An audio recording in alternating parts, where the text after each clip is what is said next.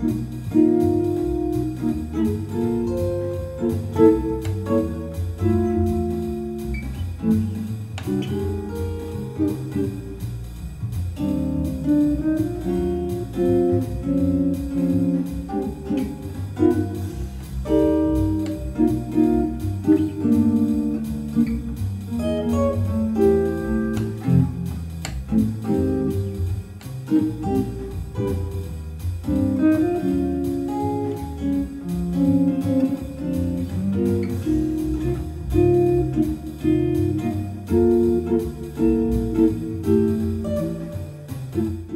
my last video was on rhythm and timing and how to use the metronome when you're practicing and you want to work on your timing.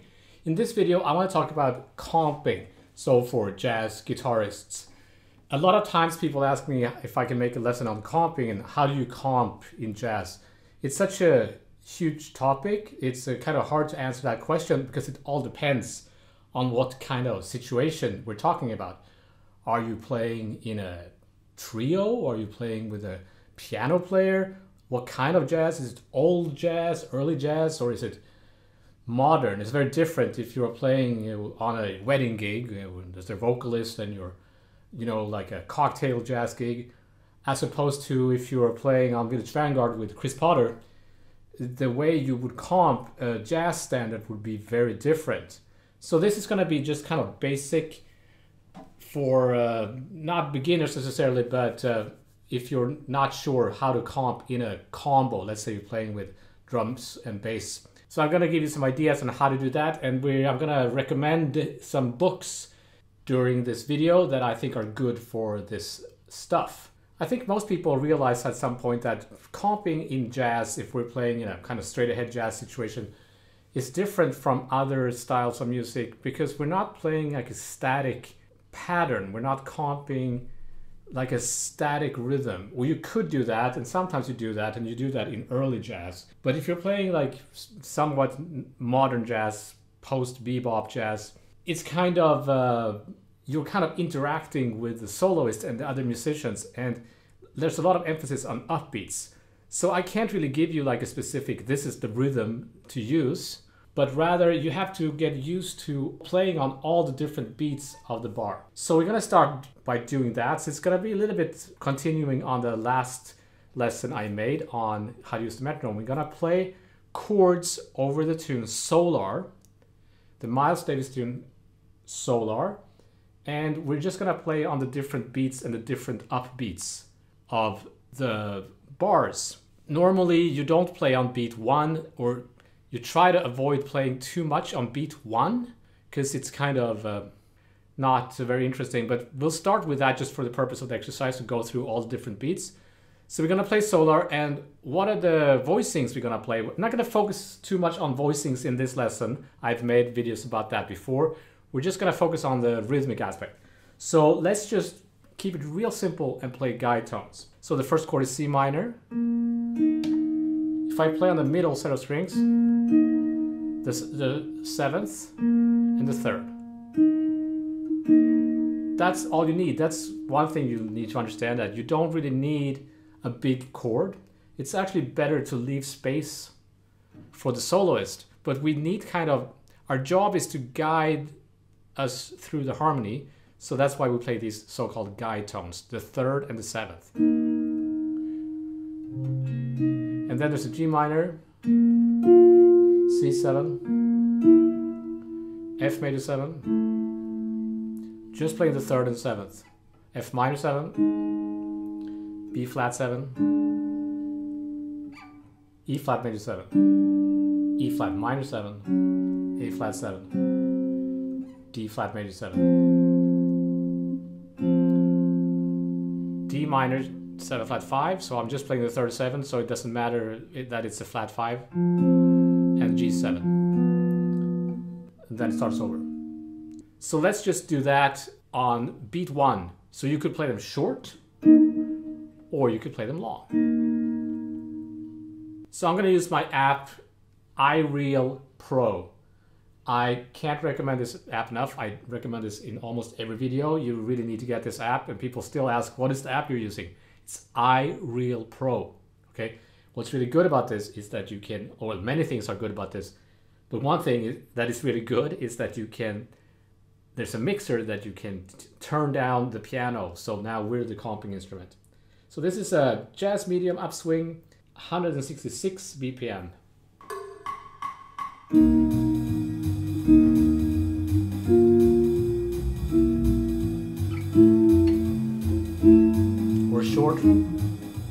One, one, two, three, four. One, two, three, four. What was that?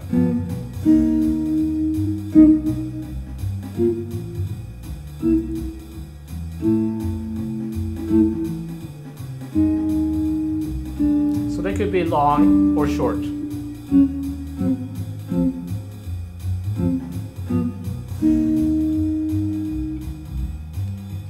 Perfectly fine to not play the bass note. You could play the bass note, but you don't have to, and it's better to not play at least not all the time. But sometimes it's nice to play the bass note as well, or the fifth as a bass note.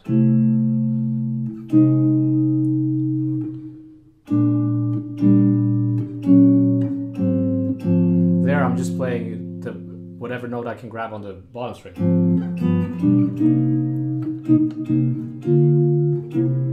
So obviously it's very different if there is no bass player then or you're just playing guitar or comping a vocalist, then I would play the bass notes, obviously.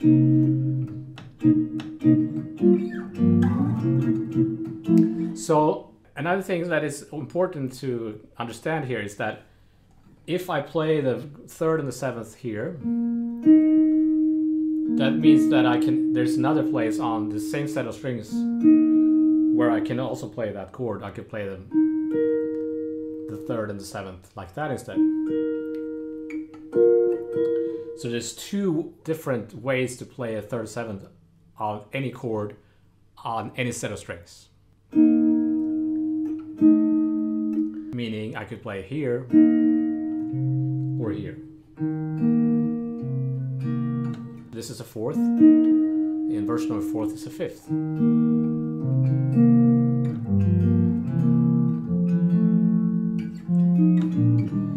You should practice both. I'm just doing one of them for the sake of this video. Okay, now let's just do it on beat two instead. One, two,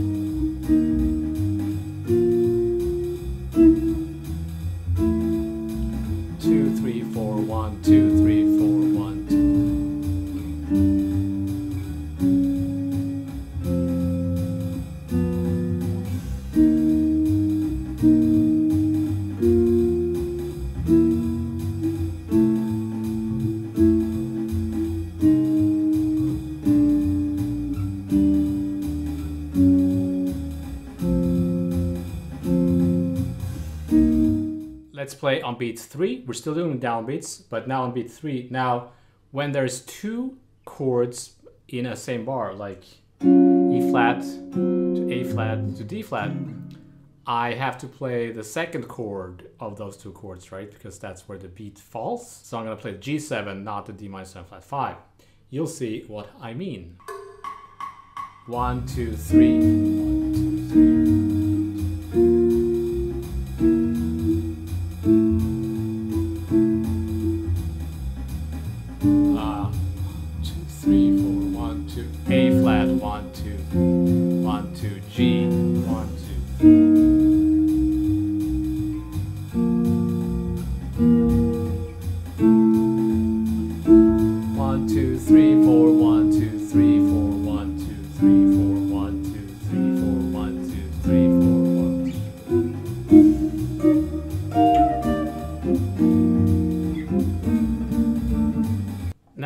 Beat four, I talked a lot about the beat four in my previous lesson.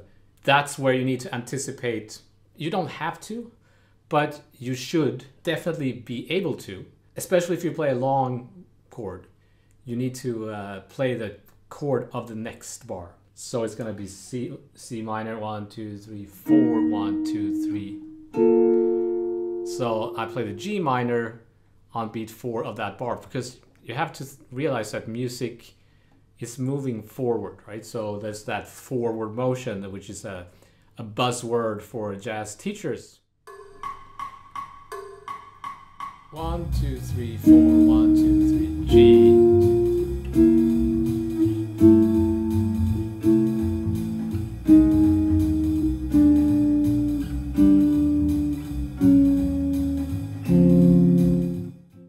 We're gonna play on the upbeats. In jazz, we, there's a lot of emphasis on the upbeats. You have to get used to the idea of playing upbeats. By the way, I'm kind of plucking these chords. Even though I'm using a pick, I'm I'm using my fingers to kind of pluck them. I'm not strumming them. Which you could totally do, but I think it sounds different and better in this case to pluck them.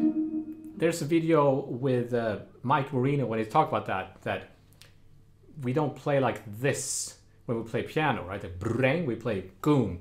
And as a guitar player, you should be able to do the same. That doesn't mean that you can't do that too. That's cool. But right now, I'm plucking them. So if we play them short, it's gonna be more like percussive. And let's add some more notes to the chords. Let's add something on the next string. So the second string, we could add a note. We could add the G to the first chord. Then we'll add an A to the G, which is the ninth. Maybe A flat, so that's an altered chord. Add a G to the F. So we could add a chord tone, like it could be the fifth, or the roots even, or it could be an extension, like in this case, the ninth. Let's keep that note. Alter the sharp five.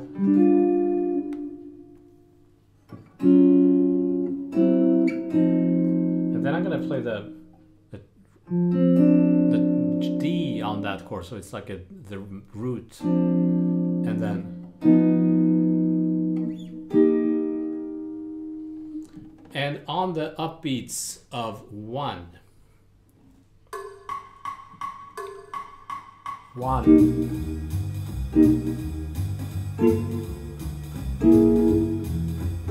Or log.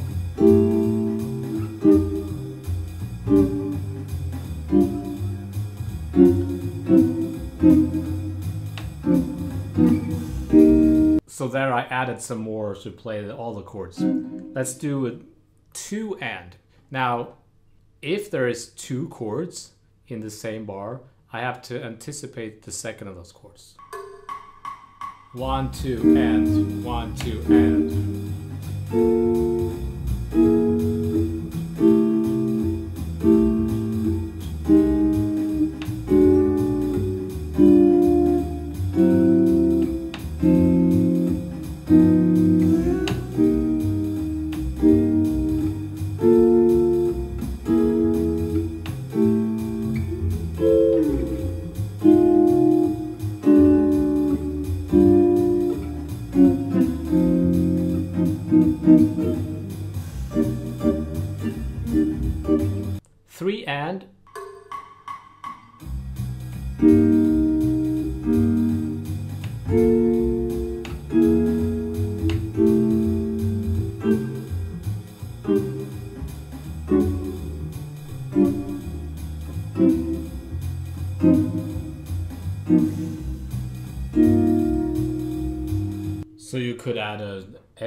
C minor. And some of you are thinking, well, shouldn't that first chord be a C minor major 7? Yes.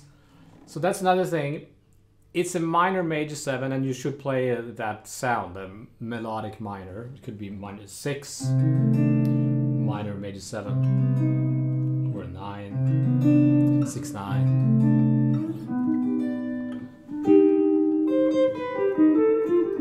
But here's the thing if you do that too much every time you know the, this is a short form so the chorus is gonna this chord is gonna come back. If you play like a melodic minor chord there every time it's like you're dictating too much to the soloist what he or she should be playing. It's when you're soloing it's kind of bothering you or me if the piano player is always playing that melodic minor chord because then i have to kind of i have to play that sound. So it's better to leave it open you should definitely play it every now and then and try to listen to what the others are doing If they're using that melodic minor sound, you should be able to pick up on that and do that.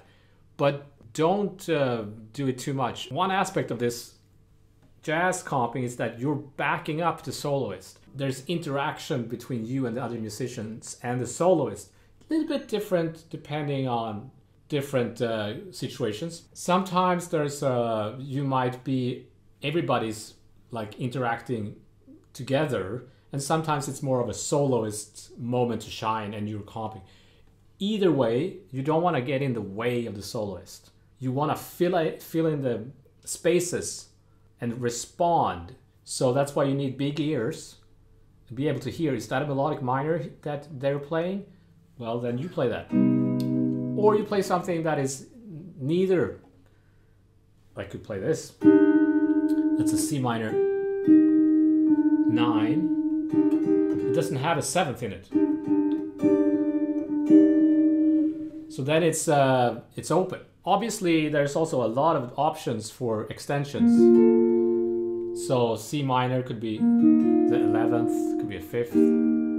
I wouldn't use the 6th there. Or maybe. And then it, it could be a melodic minor chord. The G minor.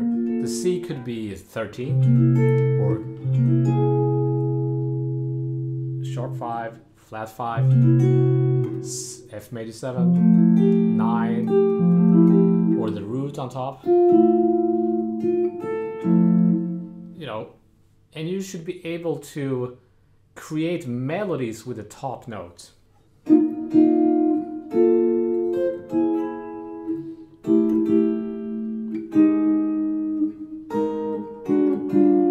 Because the top note is what you hear the most, so that should be like a nice melody. It's also something that uh, Mike Moreno talks about in that lesson uh, video. I'll see if I can find that video and I'll link to it. If you listen to someone, a great piano player, a great guitar player, or whatever, comping, there'll be a nice melody on top of whatever they're doing. So.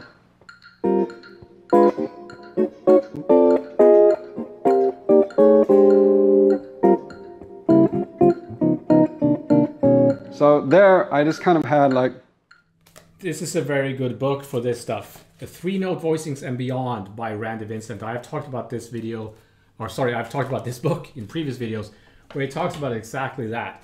How to use guide tones and add a note. You could also be spreading out the guide tones and adding an extension between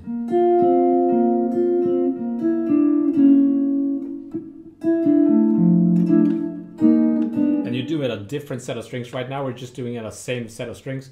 So if you want to look into that stuff, I really strongly recommend that book because he goes through all the kind of possibilities when it comes to playing guide tones and adding extensions.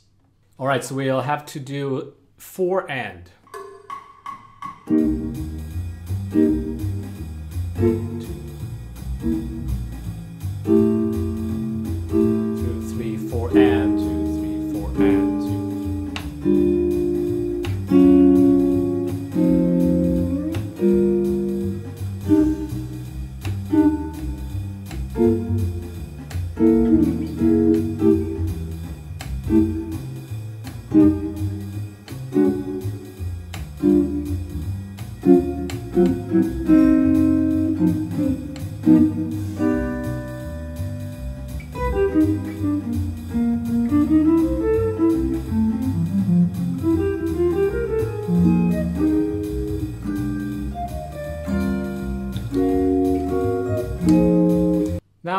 Same thing, but I'm to play two notes.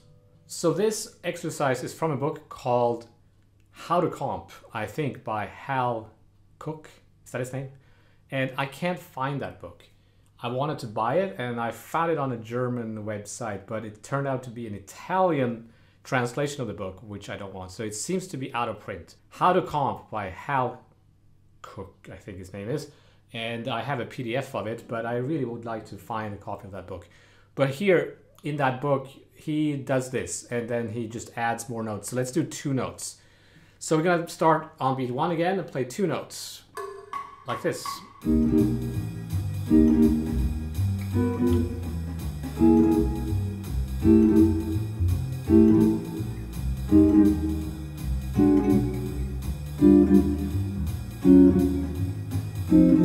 Let's start on beat two. Three.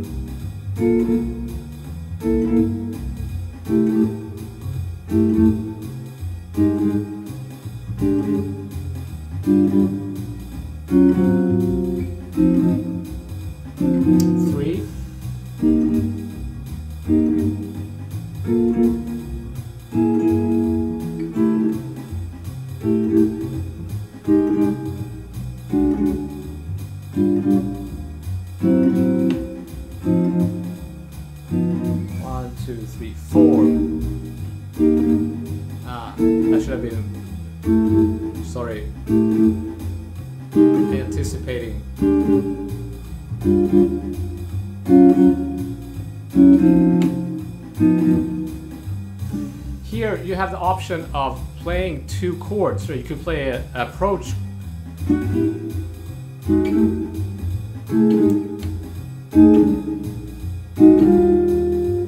right? From below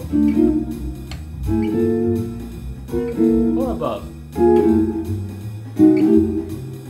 Let's do the same thing and start on the upbeat. So one and. Hmm.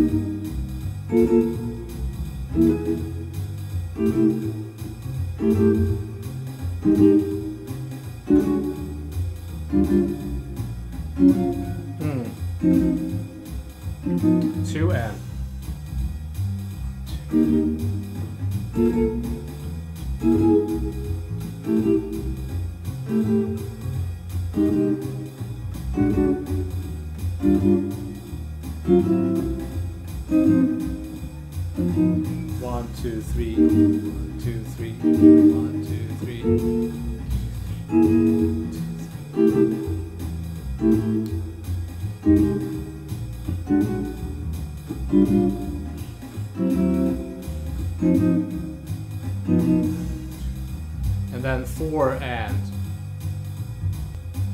Basically anticipating into the next.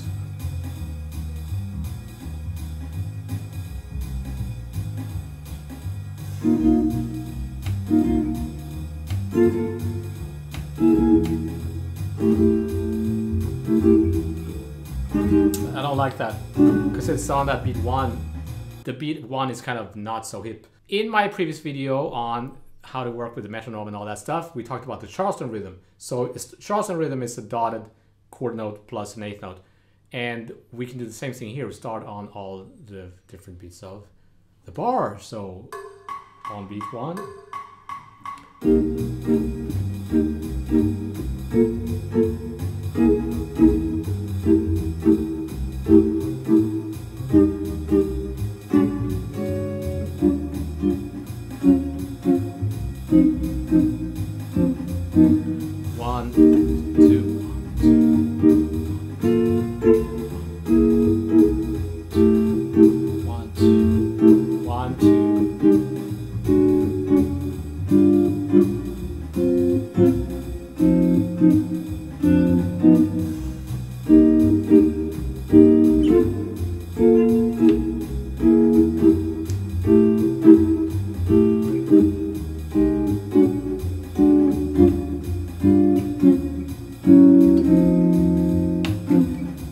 Yeah, beat four you have to anticipate with the whole quarter note.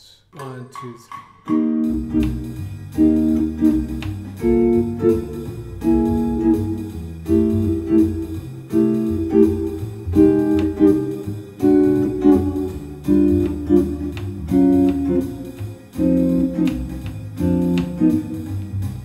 So this is for developing kind of a feel for where you are in the measure, in the beat, in the bar, in the flow of things, so that you have this uh, ability to always know where you are. We also talked about the clave in my previous video, so don't, don't, don't, don't, don't, which is called a 2-3 clave because there's two hits in the first bar and three in the second one. And uh, it's a Latin Afro-Cuban thing, right? Played by an actual instrument called the claves. We don't really use that rhythm when we play Latin. We, it's just like an underlying rhythm. But it's a good thing to practice that, even though that you normally don't play like that. So the this is a son clave. Let's do that. Just guide tones. Anticipate the next bar maybe.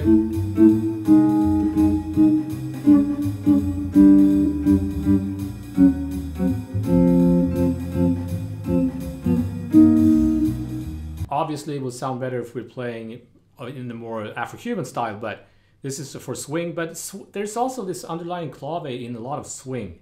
It's kind of connected. There's also this thing called a rumba clave, which is just last note is an eighth note instead of a quarter note.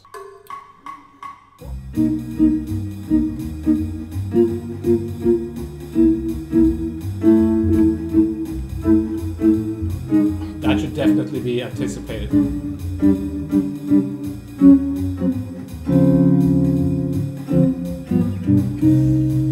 And those claves could be turned around. Let's just hear what it sounds like if I change the swing feel or the, the style, which is another great feature with this uh, app. I really like this one called uh, New Orleans Swing.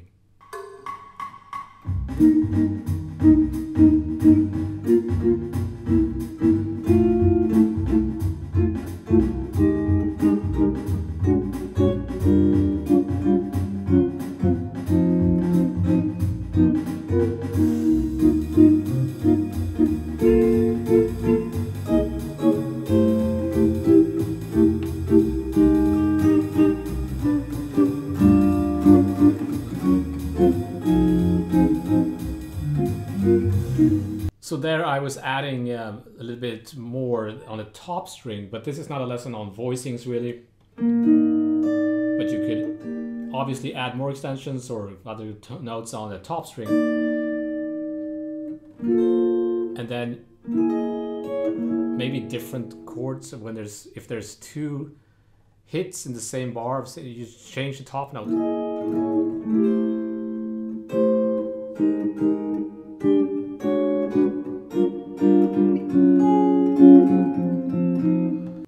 Talked about this tune, woodpeckers, no, wood choppers ball, which is actually is that, uh, I didn't realize that, but it is just a clave, right?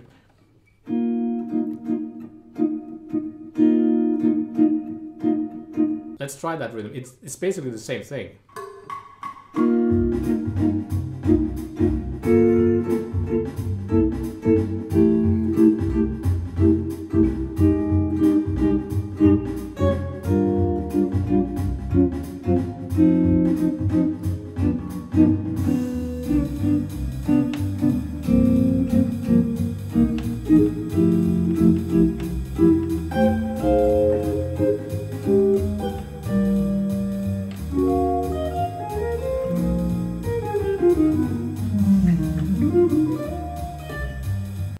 So now that we're playing more notes than just the guide tones, if you play three notes, another thing to think about is that how you're gonna play it. You could play two notes and then one.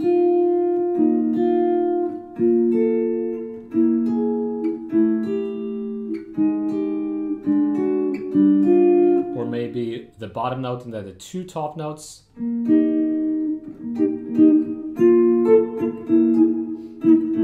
Create rhythms like that.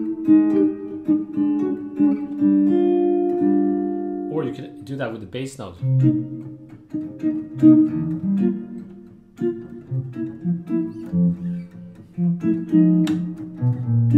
But you want to be very careful. I find that modern players do a lot of that, like Kurt Rosenwinkel and Mike Moreno. They play bass lines, but it's very like percussive and don't you don't want to get in the way of the bass player. So you have to like know what you're doing when you're adding bass notes. Another very important thing to understand in jazz rhythm is the kind of the dotted quarter note. So there is a dotted quarter note at the end of the clave, right? If we continue on that, that's dotted quarter notes.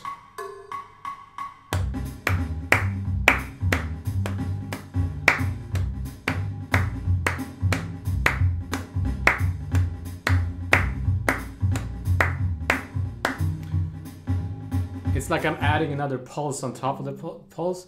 That's kind of tricky to do at first. It adds up every third bar. Before you do that, if you can't do that, might be a good idea to kind of edit it into a four bar phrase, which means I'm gonna make the last dotted quarter note of that, or the last quarter note of the four bar phrase as a regular quarter note. Then it kind of adds up as a four bar phrase. Sounds like this. Um,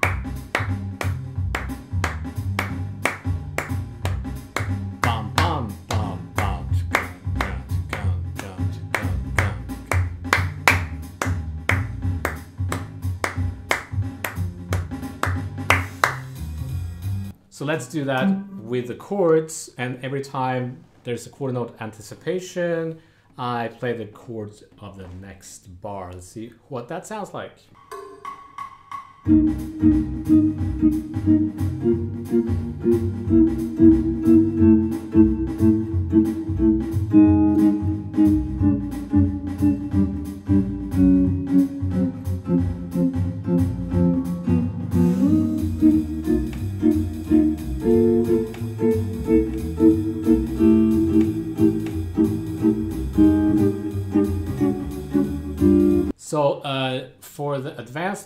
Here's the Dave Holland concept. There's just a bunch of threes, right? A dotted quarter note is three eight notes, and then the last quarter note is a two. So it's three, three, three, three, three, etc., and a two. You could move that quarter note to any other place in that series of notes. Let's say you start with it instead. It sounds like this. Dop, jump, gun, gun, gun.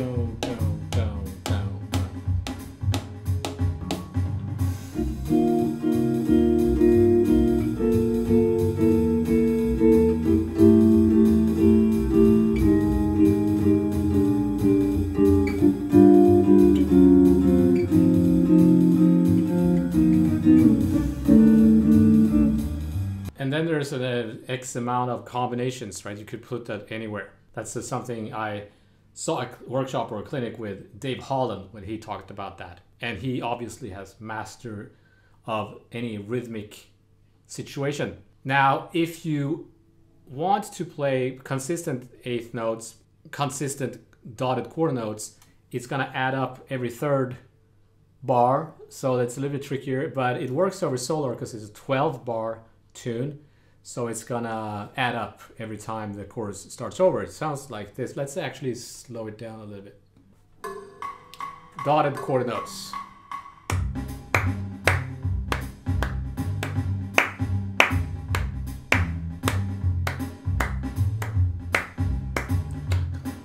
One, two, three, one, two, three, one, two, three, one, two, three, one, two, three, one, two, three, one, two, three, one, two, three.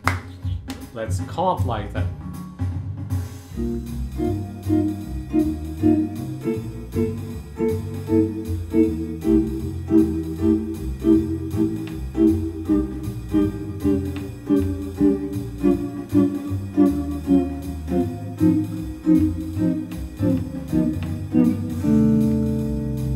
Also a solo ding device.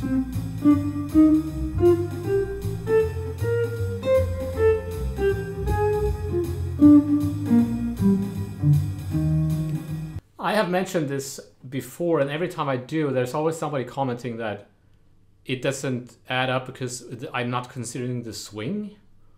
I really don't understand what they mean. Maybe they think that swing is triplets. It's not. Uh, this is actually great for developing a swing feel. So I could also make a video about what swing feel is, but it's a little bit more difficult to talk about. It's more abstract and uh, a matter of personal taste, but it's definitely not triplets, that's for sure. It's a little bit that you're emphasizing the upbeats. It's also totally depending on if it's old jazz and more modern jazz. But this is one of the secrets, I think, the clave and the dotted quarter note. You could also do groups of fives and sevens. And I have made a video about that. I think it's called Spicing Up Your Rhythm or Comping or something like that. And uh, if you want to explore that stuff, you can watch that video. The idea is not that you comp like that. It's more like when you're interacting with the band and they get into that kind of rhythm, like dun dun gun gun gun gun gun gun, like a five or a seven, dun dun dun gun gun gun, like.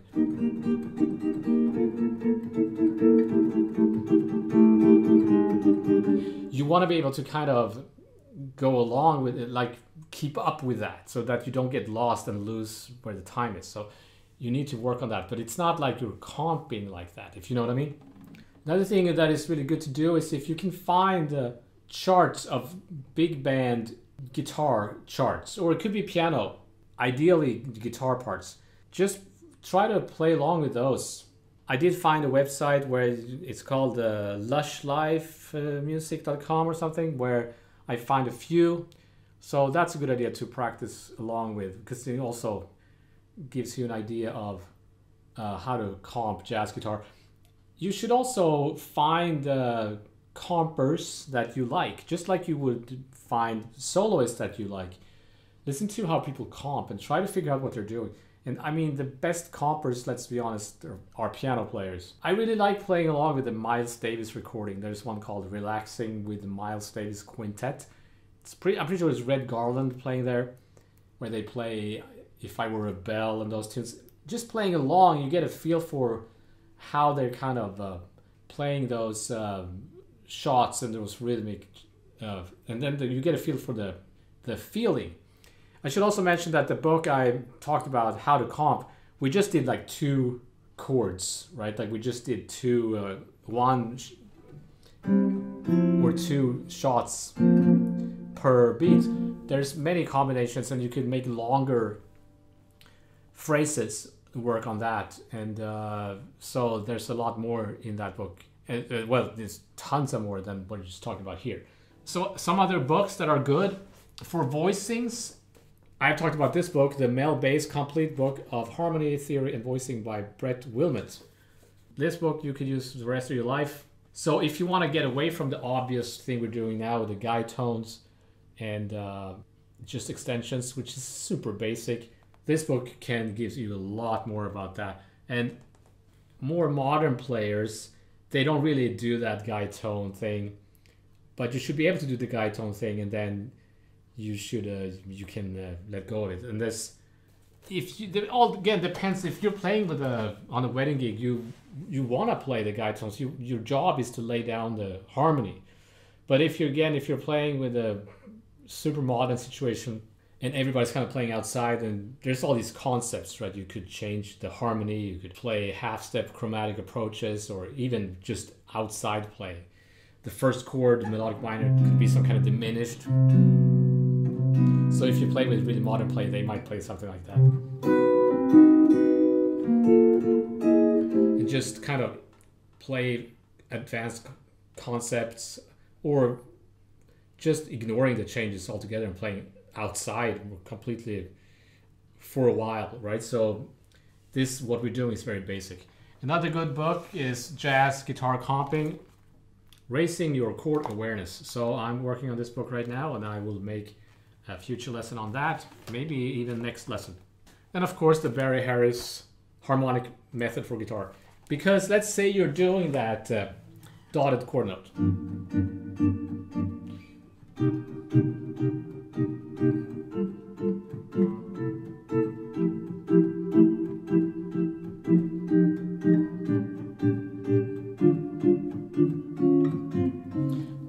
just playing one chord for each chord, one voicing. If you want to add movement, what do you do?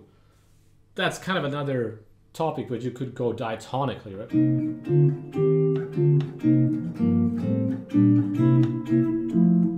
Those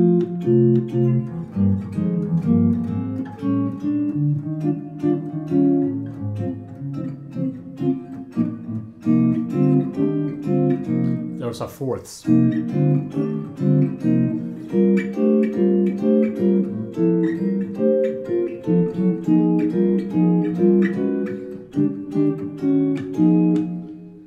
Or you could add Barry Harris stuff.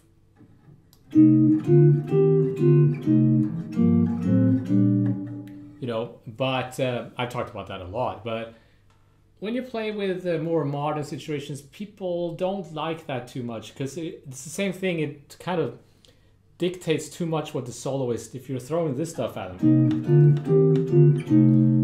they kind of have to play along with those. You're not. It's better to leave leave it open. Play as little as possible. Your job is kind of support and fill in the spaces to keep the music moving forward and give the listener some idea of where the harmony is, right? But you're not supposed to kind of, if you play these thick harmonic movements, it's too much, I think.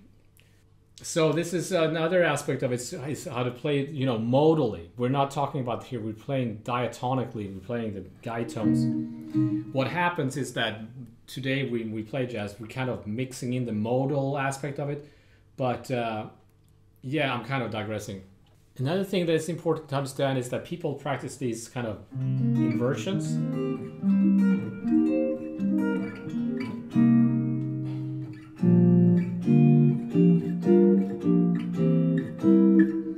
So there's this misunderstanding that we're playing like that. But that's not really the idea of the inversions is practicing inversions is just so that you know how the chords are constructed. You don't really play like inversions that it sounds like you're practicing right? It sounds like la la la la la la la.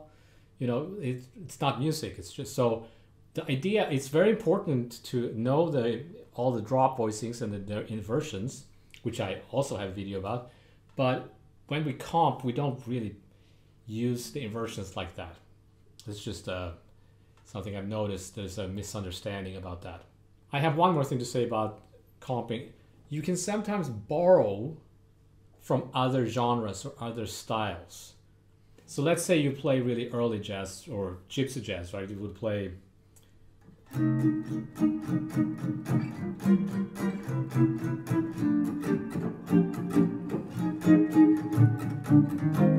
comp like that could actually work in the modern context. You can kind of sometimes throw that in so as a kind of an effect. I noticed uh, I was watching that Emmet Cohen, when they play really modern, but sometimes they play like stride piano and stuff like that. They throw in like early style of playing as an effect. You could throw in, we already did, like Latin ideas, like the clave.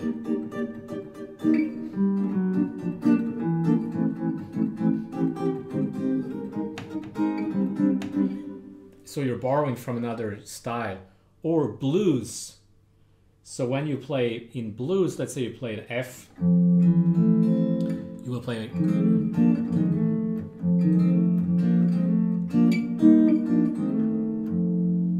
so you could actually do that. It's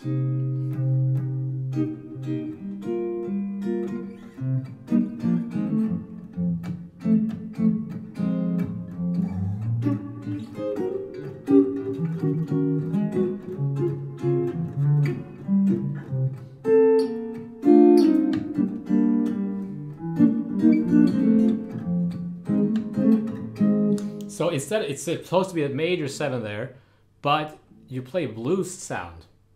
George Benson does that all the time, and the blues you can throw in as a kind of a flavor. Again, you don't want to do it all the time. Do it too much, it's ridiculous. But if with the right kind of uh, in the right place and the right uh, with the right attitude, it can be really cool. It's also like a gospel thing, right?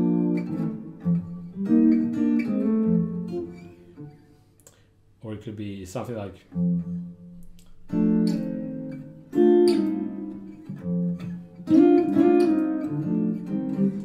Okay, so that was a lot of information. I hope I remembered to talk about everything I was hoping to cover. And I have uh, these uh, rhythms written out as PDFs on my Patreon page. So if you follow me on Patreon or support me on Patreon, you get access to those. And uh, on Sunday, after this video is released, there will be another uh, Q&A for patrons uh, via Zoom. So all my patrons are welcome to join me there. Yeah, that was a lot of information. I uh, hope you enjoyed it and let me know in the comments below if there was something that was confusing or that you want to add to the discussion. And as always, I want to thank you for your time and attention, and I shall see you next time.